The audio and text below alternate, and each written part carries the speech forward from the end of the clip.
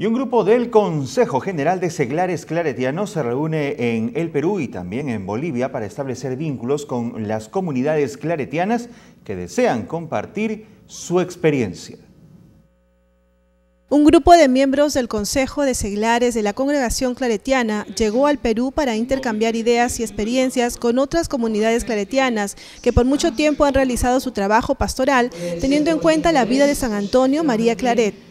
Edison Chalco, peruano, miembro de la comunidad Chasqui, que nació en la parroquia San Antonio María Claret, ubicada en el distrito de La Victoria, El Porvenir, compartió su testimonio y el estilo de vida que debe llevar un seglar.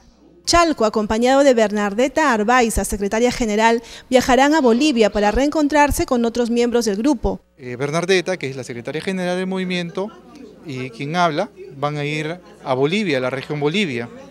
Y Miguelo y Manuel, Tamargo van a ir a Arequipa precisamente a ver una comunidad eh, de seglares que hay en la ciudad de Arequipa. En los próximos meses, las comunidades interesadas en ser parte de este grupo de seglares podrán mantenerse en constante comunicación con el grupo a través de la página web que aparece en pantalla.